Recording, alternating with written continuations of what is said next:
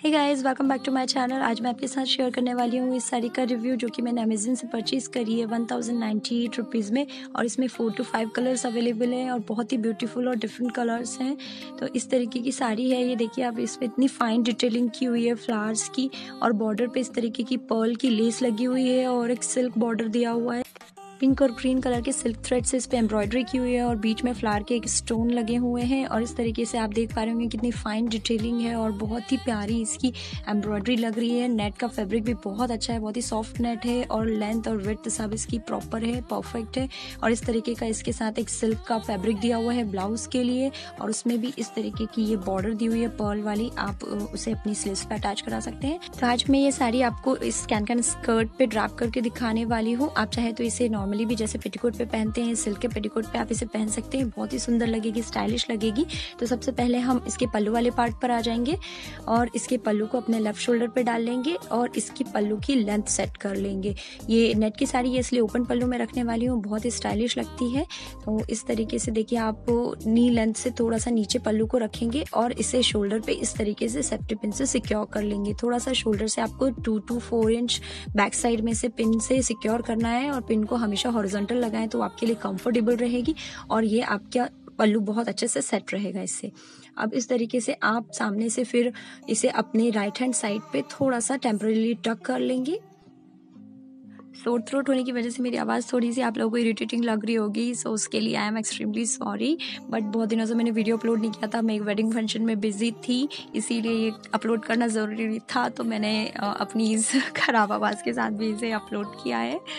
तो चलिए अब हम आ जाएँगे इसके नॉन पल्लू वाले पार्ट पर और नॉन पल्लू वाले पार्ट पर यहाँ पे ब्लाउज अटैच है।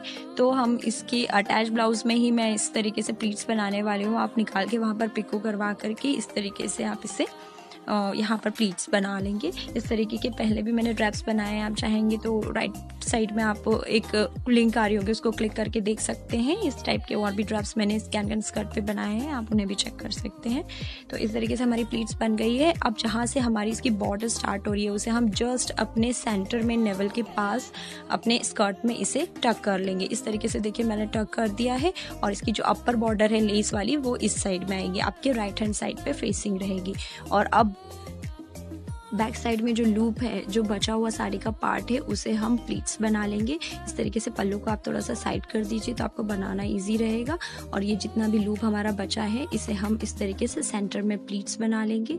अगर आप खुद से बना रहे हैं तो आप थोड़ा सा पार्ट छोड़ के अपने आगे ले लेंगे इस पार्ट को और प्लीट्स बना करके उसे बैक साइड में फिर टक कर सकते हैं।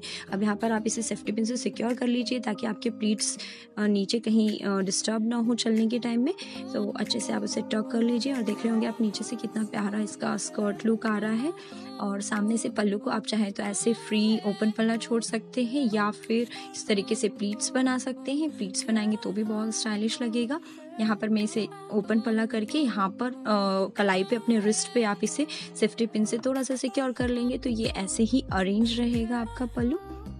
तो फ्रेंड्स ये तो फ़र्स्ट सिंपल सा ड्रैपिंग स्टाइल हो गया है और सेकंड पल्लू स्टाइल और मैं बताने वाली हूँ आपको किस तरीके से प्लीट्स बना के आप इसे स्टाइलिश तरीके से डाल सकते हैं। पहले आप इसका फुल लुक देख लीजिए, ये बैक साइड से इस तरीके से लगेगा फ्रंट से साइड से, सब तरह से बहुत ही स्टाइलिश लुक अगर आप डिफरेंट स्टाइल में साड़ी को कैरी करना चाहते हैं तो आप इस तरीके से ज़रूर अपने किसी फ़ंक्शन में कैरी कर सकते हैं। और आपको ये लुक कैसा लगा, आप प्लीज़ मुझे कमेंट करके ज़रूर बताइएगा। और अगर पसंद आया तो लाइक करना बिल्कुल मत भूलिएगा।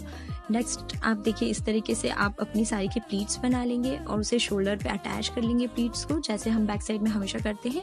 एंड सामने इस इस तरीके से लुक देंगे आप थोड़ा सा बटरफ्लाई लुक उसे फैलाते हुए।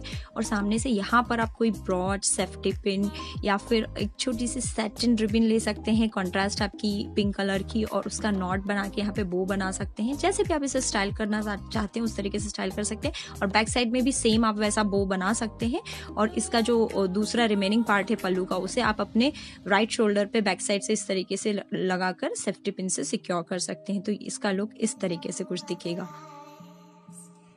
और इस स्ट्रैपिंग स्टाइल में आप इस तरीके से सिर पे पल्लू भी रख सकते हैं। बहुत सारे लोग रिक्वेस्ट करते हैं कि हम सिर पे पल्लू रख के कैसे स्टाइलिश वे में साड़ी को ड्राप करें। तो ये स्टाइल आप ज़रूर ट्राई कर सक, कर सकते हैं। तक अगर आपने मेरा चैनल सब्सक्राइब नहीं किया तो प्लीज़ सब्सक्राइब कर लीजिए स्टाइलिश साड़ी ड्रेस देखने के लिए। लाइक और शेयर करें मेरे वीडियो को। Thanks for watching